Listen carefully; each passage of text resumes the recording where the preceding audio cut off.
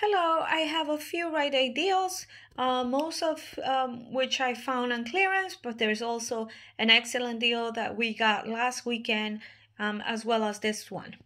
So first, the Dove Men+Care Cooling Relief and the Garnier Fructis Mojito. Um, they are both 149 on clearance. In two of them is 298. I used um, two $2 coupons. Those were available in last weekend inserts. So in this transaction, this was a freebie, freebie plus 102 moneymaker. Um, the Garnier dry shampoo, um, the coupon did beep and it had to be um, manually uh, put because it did not go through on its own. So just be aware of that. The Garnier Fructis Nourishing Shampoo is $1.99. We have a $2 coupon in last weekend's insert as well on uh, coupons.com so it's completely free.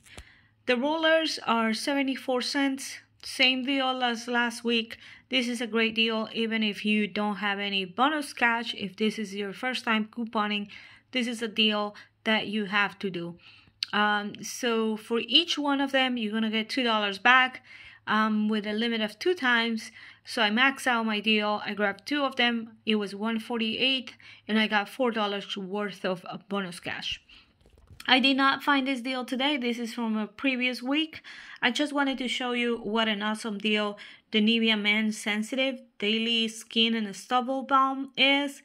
This is on clearance for $1.99 if you can find it. We have, I believe it's a $2 coupon in today's insert. It could be less, it could be more. Um, but even without a manufacturer coupon, if you have the Ibotta rebate, which keeps resetting for me, I got a 250 back uh, when I buy one.